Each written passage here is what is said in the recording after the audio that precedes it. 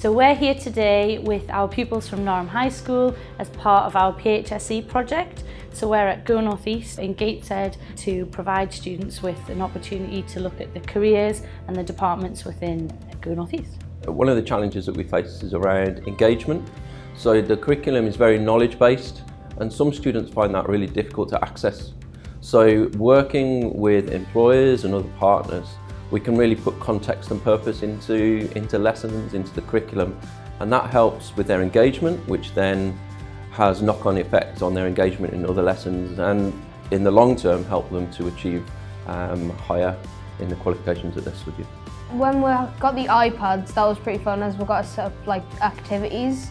Everybody was having a lot of fun taking pictures and drawing pictures and making videos and audios along the bus. As part of the project, what we've really, really focused and tried to drill down on for each of the pupils is the soft skills. It offers opportunities where we can really see pupils developing those skills via communication and what we're really, really looking at driving forward is the oracy skills for our pupils. So things around confidence, leadership, resilience and organisation as well. When I first met the kids, they were quite shy in the classroom. They didn't really want to ask us many questions. Today, they've been absolutely amazing with us. They've asked loads of questions, they've been very, very, very respectful, putting their hands up to ask questions. Well, I go a bit nervous when I talk to people. Probably more confident now than starting the project. People behind me or next to me or in front of me, we'd ask them questions about themselves and how they'd experienced going on a bus first time.